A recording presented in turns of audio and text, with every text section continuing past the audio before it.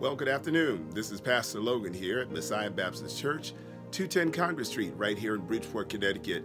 Listen, we're ready for Bible study. Get your Bibles ready, get your pens ready, get some paper, take some notes. We're back again. Uh, Elder Michele Roseman. I told you she would bless you the last time. She's going to be a blessing to us again today. So let's hear what God has to say through her. Enjoy the study. Remember, keep studying to show thyself approved unto God a workman that needeth not to be ashamed, rightly dividing the word of truth. Money, power, peace. We all value something or someone. But does God say anything about who we should value? As the world celebrates the great achievements of women during Women's History Month, let's prepare to study what God says about the value of godly women. My name is Elder Michele Roseman, and on behalf of Pastor Logan of the Messiah Baptist Church in Bridgeport, Connecticut, welcome to part two of a lesson entitled The Value of Connecting with Godly Women the value of connecting with godly women. Let's look to the Lord in prayer. Father, in the name of Jesus, we thank you for this opportunity to come into your presence. And we know that in your presence there is fullness of joy. We thank you for lifting depression and for giving answers to those who have questions. We pray that you would manifest yourself through your revelation of your word in such a way that people are helped and have hope. Help us to not just hear your word, but to be doers of it as well.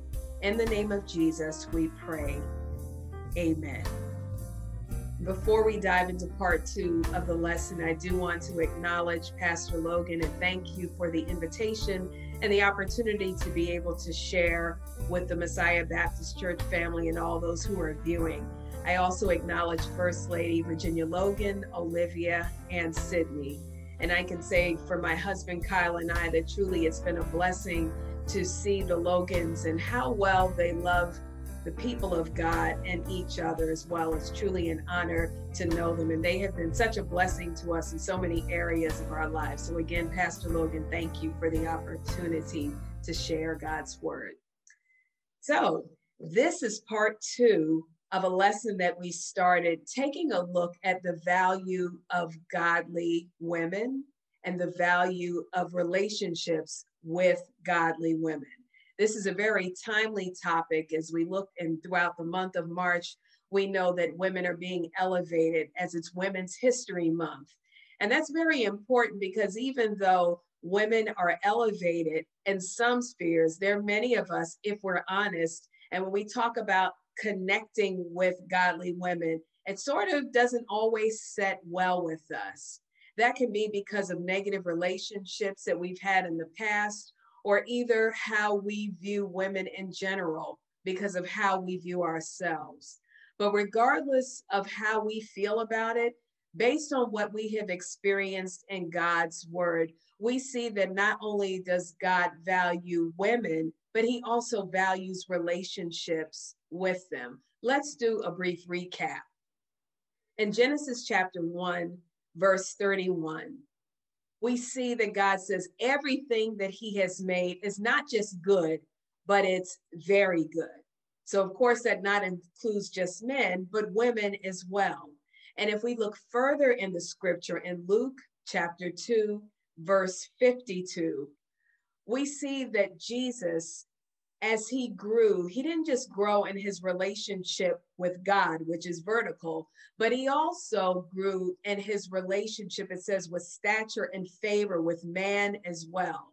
And if Jesus is our example, and we see that he grew in both of these areas, it lets us know that God also has an expectation of us that we will not just be saved anyhow and just glad to go to heaven, but along the way, while we are here on earth, that we will develop and foster and grow healthy relationships. as the theme for Messiah Baptist churches, and it's true based on the word as well, relationship still matters. But as we get ready to look in this second part of this lesson, begin to ask yourself how do you feel about relating with women? There may be some women that come to mind right now, or some that God is going to place in your life. And there's a specific assignment that He has on their life to connect with you to bring you to a place of fullness and fruitfulness that you would have never been able to achieve on your own. If you just look at where you are in life now, it could be a woman who prayed for you, someone who spoke a word of encouragement for you, opened a door for you. And those are the types of examples that God wants us to remember and to keep at the forefront of our mind as we move forward in the lesson, because we don't want to block what He's doing because of a mindset that is not of God. So, again, we establish based on God's word that there is value in women and connecting with them. Those relationships are so very important. And in looking specifically in God's word, there was one woman that we highlighted by the name of Esther, and we're going to continue with her story today. But to give you a little bit of background on Esther, we know her to be the king or the queen, rather, to the king Xerxes. So Queen Esther is the queen to King Xerxes. And even though she is in a position of prominence, she didn't start out that way. In the book of Esther, we see that she started out as an orphan, not knowing her mother or her father. So she was essentially raised by someone who was not her mother or father, a man by the name of Mordecai, who was her cousin. And that's significant because many times as women, we discount ourselves as being able to do great things for God or having someone connect with us and be benefited by a relationship with us because of the way that we started. We may not have done everything perfectly. We may not be doing anything perfectly now. Who is? But if God has called us to do something, if He has an assignment for us, God's Holy Spirit is able to work and to turn those negatives into a positive and use us to be a lightning rod and a blessing to someone else. So was the case with Esther. So, why was she such a blessing to Mordecai and to the people at that time? Through Esther's life, she was able to keep the Jews from being killed. She herself was a Jew, and Mordecai was as well. And based on a series of events, which will unfold more today, we see that she was able to be used by God to stop unnecessary bloodshed and to save a people. And this is a word of encouragement to those of us who are watching. Don't downplay what God wants to use you for.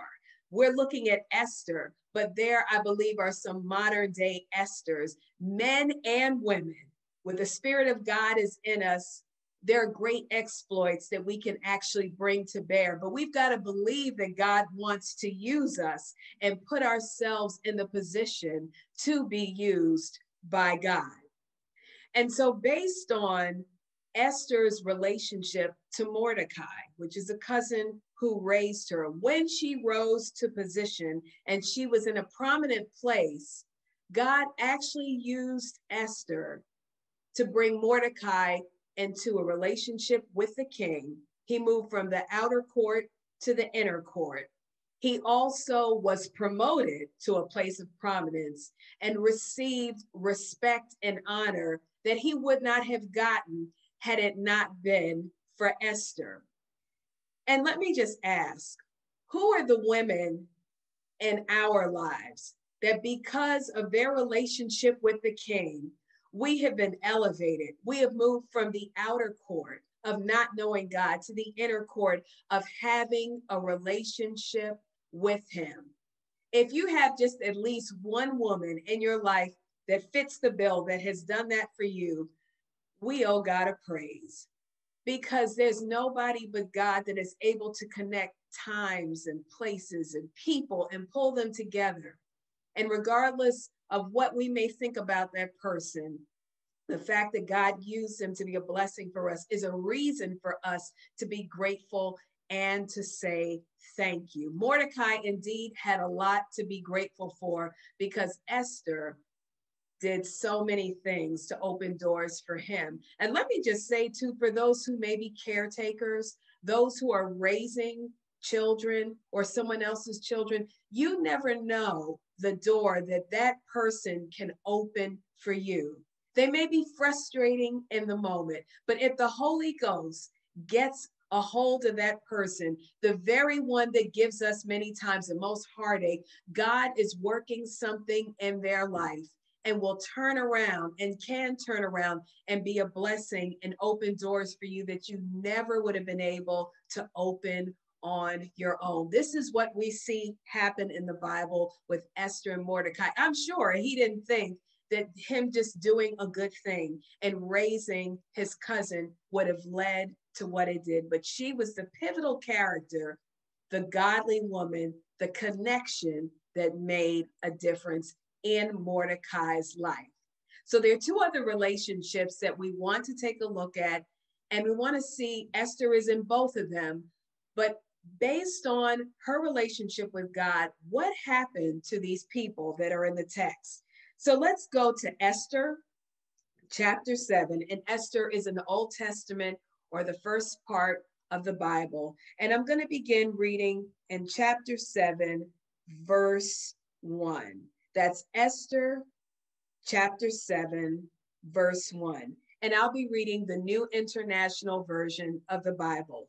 It reads this way So the king and Haman went to Queen Esther's banquet. And as they were drinking wine on the second day, the king again asked, Queen Esther, what is your petition? It will be given you. What is your request? Even up to half the kingdom, it will be granted. Then Queen Esther answered, If I have found favor with you, your majesty, and if it pleases you, grant me my life. This is my petition. And spare my people. This is my request. For I and my people have been sold to be destroyed, killed, and annihilated.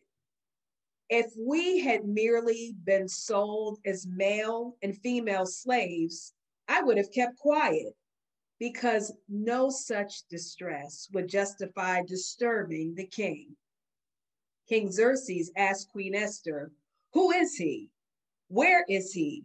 The man who has dared to do such a thing. Esther said, An adversary and enemy, this vile Haman. A lot is going on in this text. And I talked about how Esther saved the Jews from being killed. What happened was there was a plot that was cooked up by an evil conspirator by the name of Haman, who was on the king's court.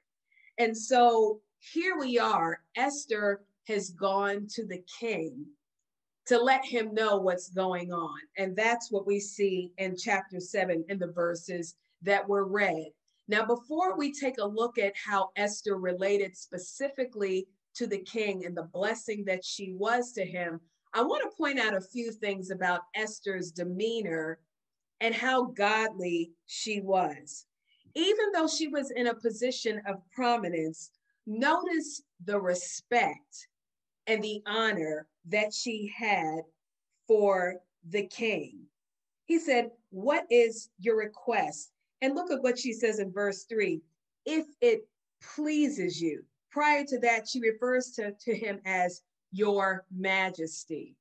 Even though this isn't a specific point about connecting with a godly woman, it speaks volumes about how women should be godly.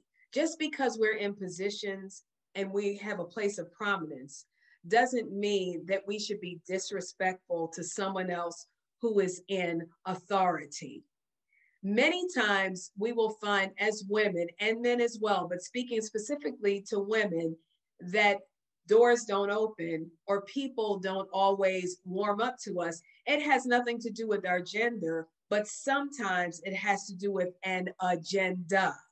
The way that we approach people. Sometimes we have a mindset, I'm going to give somebody a piece of my mind, or they're not going to walk over me. And when we come in with that posture, be it man or woman, what we find is that people may bristle up to us and doors are not open because we're operating out of a place of disrespect. But we see that Esther was the exact opposite. Here she is the queen, she's a wife. She's in a place of prominence, but she still understands that there is a way that she is supposed to approach the king. Let's take it even a step further. And this is for men and women even though we may be saved and have a relationship with the Lord Jesus Christ, there is a level of humility that's needed when we approach the throne of God. Yes, as it says in Hebrews chapter 4, 15 and 16, we're supposed to come boldly, but we're not supposed to just tell God what we want and expect him to do it like he's a water boy or like he's some Santa Claus just doing whatever it is that we want. But we have to always reverence him and acknowledge him as the King of Kings and the Lord of Lords. Yes, there is a boldness because we have access to him, but at the same time, there has to be a reverence where we understand that, Lord, you are the one that's in control. Lord, we serve at your pleasure. Lord, we honor you for who you are. And even though you have made us, we are not little gods, small g o d. There is something to be said for honor and respect. And I tell you, Esther really shows us that. And I believe that that is part of the reason why the king was able to receive her. Because keep in mind, in biblical days, and, and particularly in this setting, historical notes say that you can't just go up to the king. You can't just open the door and say, I'm your wife, I'm coming to speak to you. You have to be invited.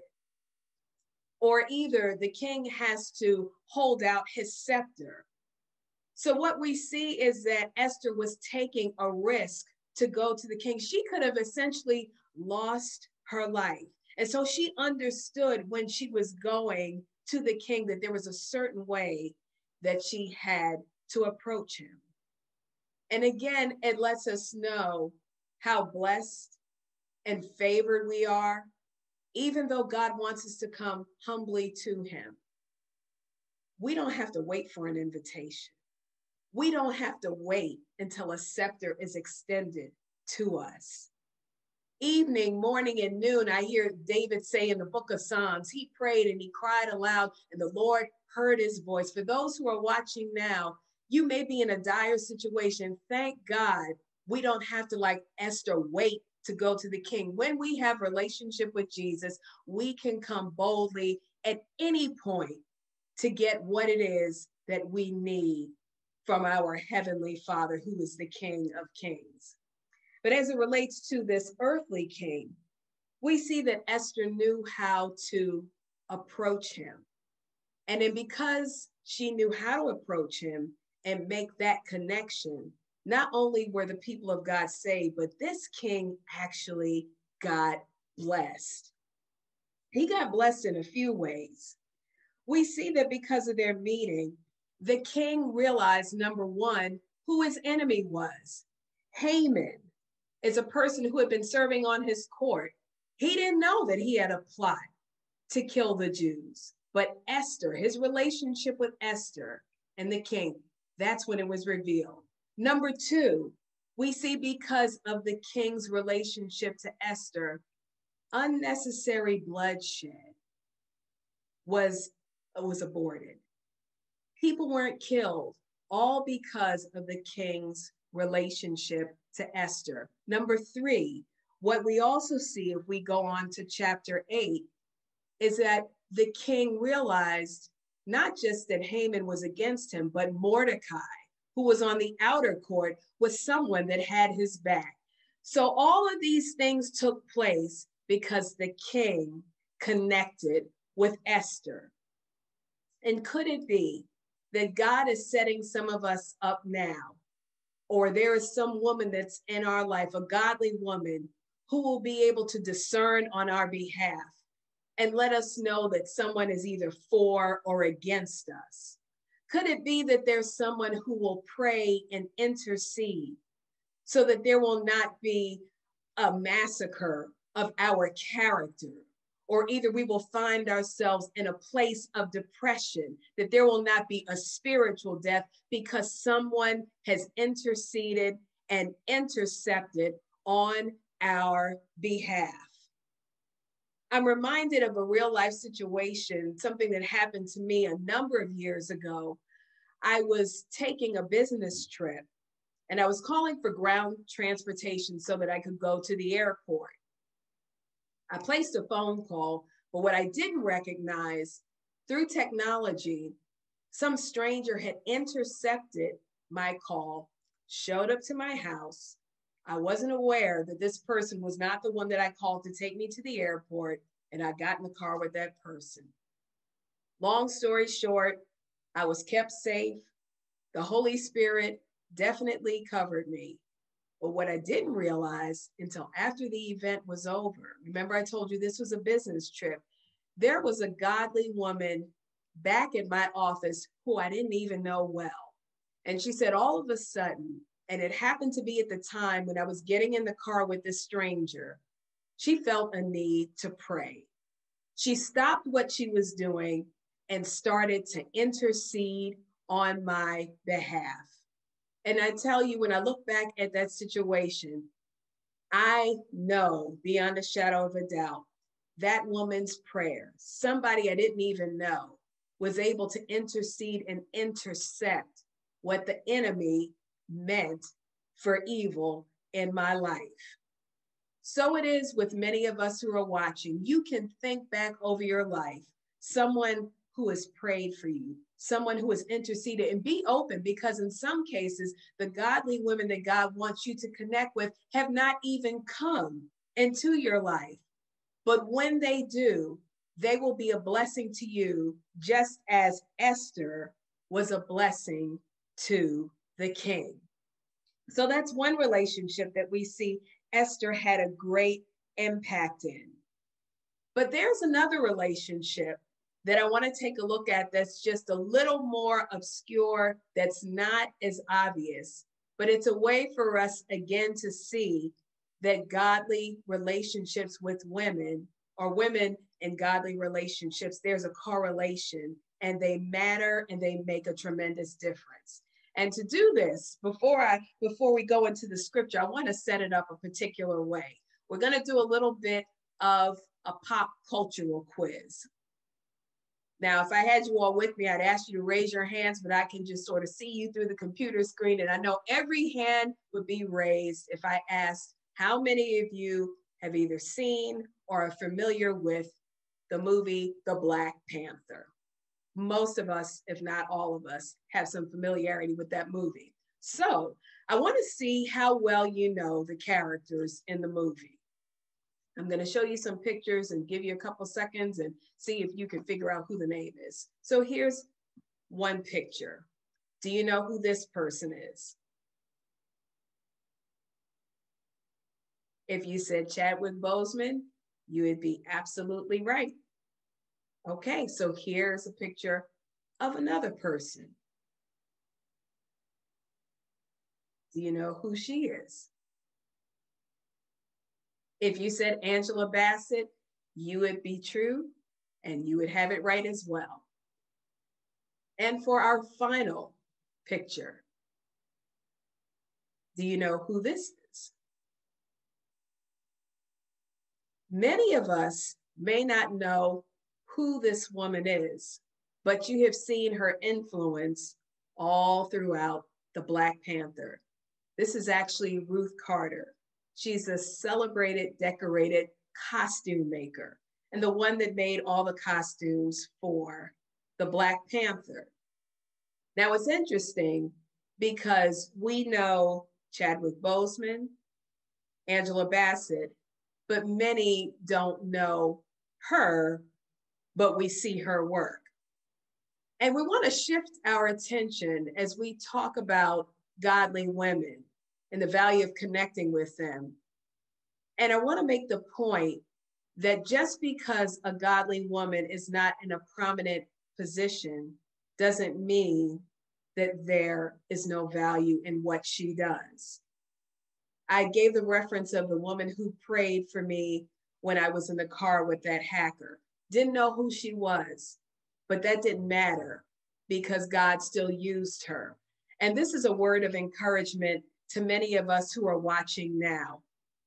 We may feel that God is not going to use us in a significant way because nobody knows us. If we're into social media, we see that we don't have any followers and someone has so many more followers. Or we find ourselves in a job where we feel like we're at a low level. Or maybe we're a single mom. So many scenarios. We're at home and we're senior and no one sees us, and we feel as if we cannot make a difference. It is not by might or by power that things are done, but it's by the Spirit of God. And when we take a look at this next relationship that Esther has, it is proof positive that just because we're behind the scenes doesn't mean that we are not seen by God and that his hand is not upon us to use us in a mighty way. So, again, still looking in the book of Esther, Let's turn our attention to Esther chapter 4, and I am going to begin reading at verse 12. That's Esther chapter 4, verse 12. And if I didn't say it earlier, I'm reading from the New International Version of the Bible or the NIV version of the Bible. And again, for a little bit of backstory, remember we talked about the connection that Esther had with Mordecai. So, right here, Esther has yet to go to see the king. So, she's preparing to see the king. Listen to this conversation that she has with her cousin, Mordecai. When Esther's words were reported to Mordecai, he sent back this answer Do not think that because you are in the king's house, you alone of all the Jews will escape. For if you remain silent at this time, relief and deliverance for the Jews will arise from another place, but you and your father's family will perish. And who knows but that you have come to your royal position for such a time as this. Then Esther sent this reply to Mordecai Go, gather together all the Jews who are in Susa and fast for me. Do not eat or drink for three days, night or day. I and my attendants will fast as you do. When this is done, I will go to the king, even though it is against the law. And if I perish, I perish. Still taking a look at the value of connecting with godly women.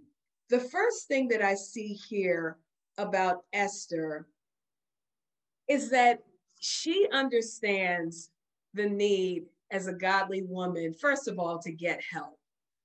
Sometimes, as women, it is our downfall because we feel like we have to do everything let me say it again everything by ourselves and for ourselves. Sometimes, honestly, I even find it hard for me to accept help. And I know I'm not the only one who feels that way. Sometimes I may feel like it's a sign of weakness or I don't want to bother someone. But the truth be told, it really is pride. It really is arrogance because God never intended for us to do everything by ourselves on a very basic level, that's why we have the Holy Spirit to help us. But then remember what we uncovered in Luke chapter 252. It's not just about our relationship spiritually, but then also that horizontal relationship as well. You look all throughout the Bible and you see that people are paired up because God never intended for us to be all one or alone back to Genesis chapter one, as it talks about. That's why he made Adam and Eve to be helpers for Eve, rather to be a helper for Adam, but still for them to have companionship with one another. So Esther, we see here, she understands that even though she's in a position of prominence, she still needs help. But look at who she goes to for the help. I know she speaks to Mordecai and, and gets all the Jews to fast, but then she says, I and my attendants will fast as you do. Wait a second. I and my attendants. Other versions of this says my handmaidens or my maidens. So Esther knows that she has a job to do, which is to prepare to go see the king. She knows she can't do it alone, but she decides to make a godly connection or a connection rather with other godly women. Let me just stop right there. How many of us would be able to do what Esther did? It is amazing. And I have been guilty of this at times as well, where we don't always connect well with other women. Many times we compete, we try to control, or either we compare. How come she's going to do it that way? I don't think she should do it this way. Why does she look like this? She thinks she's better than somebody else. It says right here that I and my attendants will fast as you do. We don't see anywhere that there's contention, but it just takes place. And granted, they're working with her, they're under her, so to speak, because they are her servants. But the fact that Esther was able to work with them and saw volume, or, or, rather saw value in them, speaks volumes. Let me say that again. The fact that Esther was able to work with them speaks volumes. And many times it's a comparison and the control that keeps us from working with other women. And that's something we have to really, really guard against because God is not going to always have us women connect with other women who are just like we are. Let me expand it for the men, for the boys and girls, whoever is watching. God is not going to always have us connect with people who are just like we are. Some of my best relationships have been with women who are decades older than I am. Their wisdom, their insight, their spiritual tenacity outpaces me on any day. Where would I be without having those older godly women in my life? And then there's such a value for having women who are much younger than I am. And, and what am I saying? Let's be open to whomever God wants to bring in our lives because it could be the very woman, the very person who is of a different race, ethnicity, age bracket, socioeconomic status that we say we don't want to connect with. And God is saying, that's the person that I have for you. Because we see here with Esther and her handmaidens, there are several differences. Number one, she is royalty in this sense. And we see that the attendants are those that serve her. She has direct access to the king. They do not have direct access to the king. She is being served and they are serving her. Despite all of those differences, when it came time for her to get the job done, she realized there had to be something in those women that they were able to fast and she knew that they could fast. And not only this, but look at these women as well. She said that they were going to fast. If we look at the kind of fast that Esther called for, do not eat or drink for three days, night or day. Many of us would not be able to do that, this fasting for an hour, but she said three days, night or day. And it didn't say they were going to stop being her attendants. So fasting and as the scripture suggests, doing this simultaneously. Esther understood that regardless of what was going on on the outside, what their outward position looked like, there was something on the inside where they were able to connect with the king. And let me just say on that point, that's all that matters. It does not matter how much money a person makes, what they look like, how many followers are on social media, whether they're in ministry, out of ministry, what the race or ethnicity is. The question that we want to ask is the person godly? Is the person seeking God? Do they have a prayer life? Is that person discerning or is that person deceptive? And when we, by the power of the Holy Spirit, spending time with God in prayer and scripture, understand that that's somebody that we're supposed to link arms with, we want to make sure that we do it because there is a blessing when we do what God has told us to do.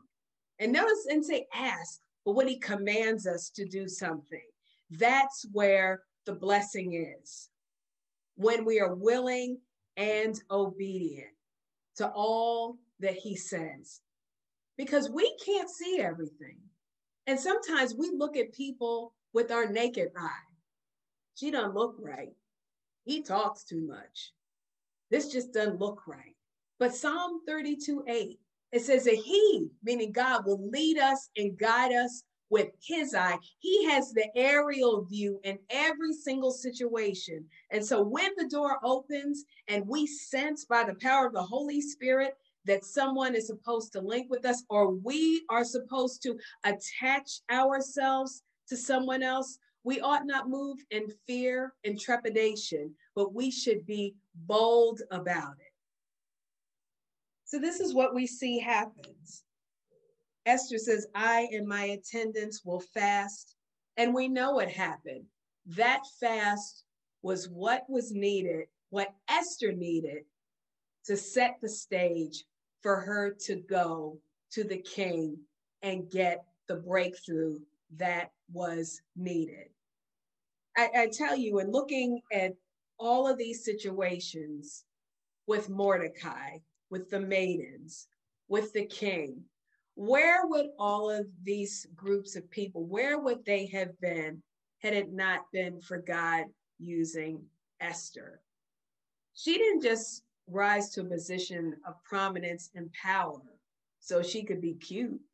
She was beautiful. She didn't just rise to that position so she could be waited on hand and foot, although she was. So, what's the point? We have to understand that when we talk about and unpack this theme, that relationship still matters. It's not just about gimme, gimme, gimme. Relationship matters so I can get this and I can look good and I can feel good. But have, have we just taken an opportunity to look around us? The world is hurting. People are dying, spiritually and otherwise. I believe that God uses lessons and teachings like this to set us up to be that lightning rod. And to echo what it says in Esther 4 14, and paraphrasing it, who's to say that we have not been placed where we are for such a time as this? Never underestimate what God wants to do with and through us. We really just have to be open because nowhere in this text do we see that Esther doubted that she was going to go forward. She said, I have to be ready, but if I perish, I'm going to have to perish because I'm going to go to see the king. How many of us are willing to perish to get God's job done? Now, I don't necessarily make reference to a physical death, but how many of us are willing to perish as relates to our goals, our ideals, the way that we saw our life going? How many of us are willing to set aside who we think we should be at this stage in our lives? Because understand that when it comes time to do what God wants us to do, like Esther, it took time to fast. There were things she had to give up. She couldn't eat what she was typically eating, she couldn't drink what she wanted to drink. But the thing is that when we make those sacrifices, God is able to get in the midst of that, and people on the other side of our obedience get the blessing.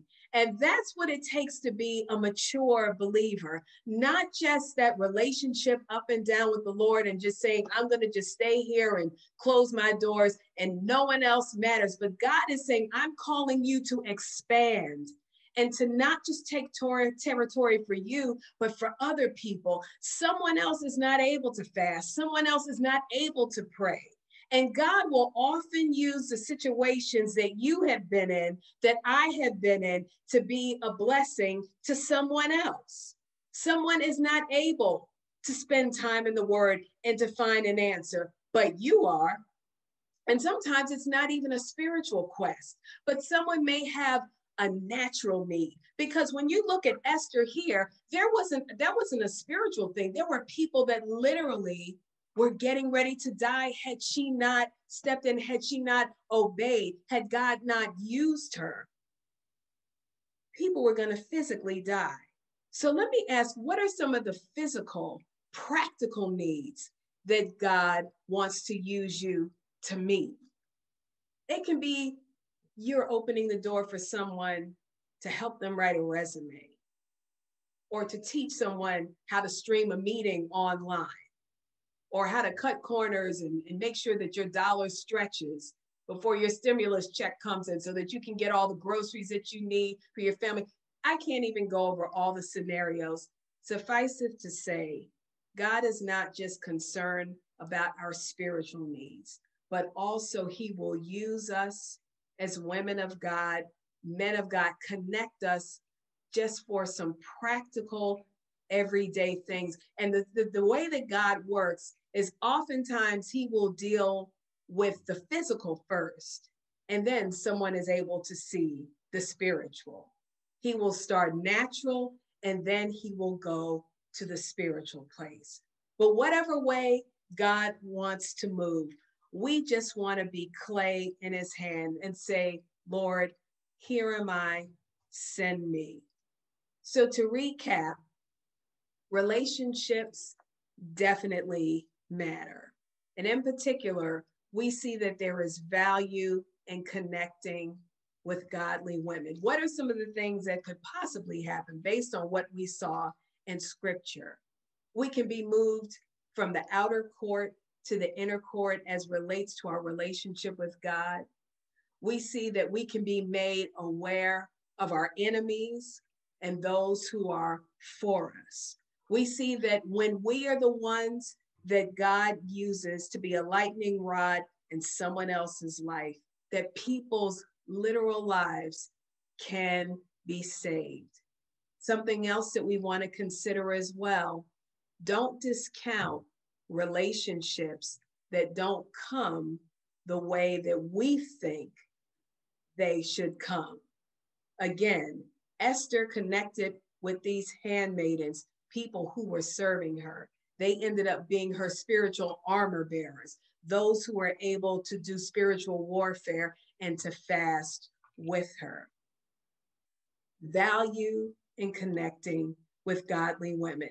And the last piece to take a look at all of this took place not just with any woman, but a godly woman. Her behavior, her mindset, the way that she moved, spoke to the character of God and what we see mirrored in scripture.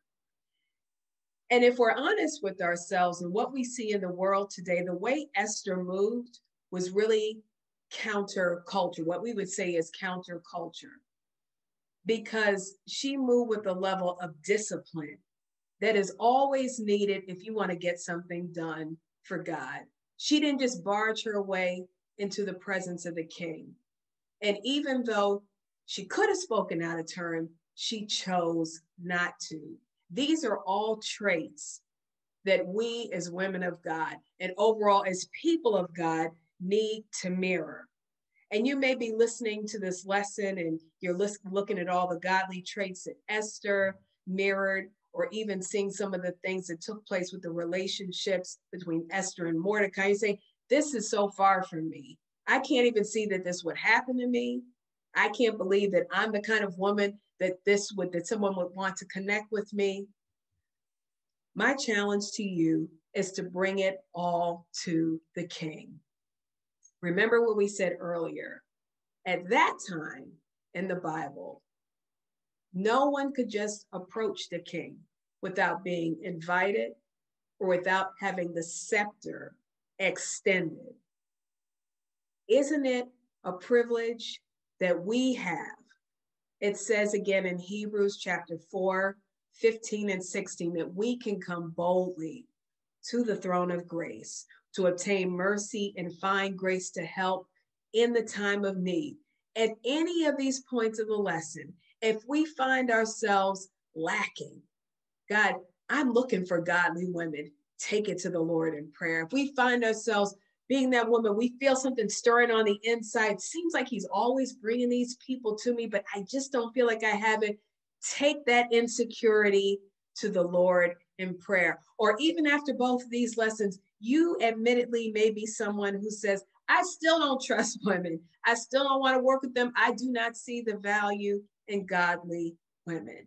God desires truth in the inward part. But as we're truthful with Him, ask God to shift your mind in such a way that it would align with what He is saying to us in this moment at this time. So, do relationships matter? Yes, they do. And particularly with godly women. Let's close out in a word of prayer. Father, in the name of Jesus, we thank you for this opportunity to come before you in prayer. We thank you for what you have taught us through the power of your Holy Spirit. We pray that as the days go by, that something that's said in this lesson will stir in our hearts and we will be encouraged to reach out to people who may not look like us, Lord God, and form godly relationships that will be a blessing in the kingdom of God. We thank you for Pastor Logan and for the First Family and for Messiah Baptist Church and all those who are watching. We pray that you would perfect the things that concern us. And we thank you for the great work that you have started in teaching us that relationships still matter. Continue to move it forward in our lives. In Jesus' name we pray. Amen. On behalf of Pastor James Logan, my name is Elder Michele Roseman. Thank you for joining us for the two part lesson entitled The Value of Connecting with Godly Women. Be open for what God wants to do, not just in you, but through you, that you may be a blessing to those around you. God bless you. Bye bye.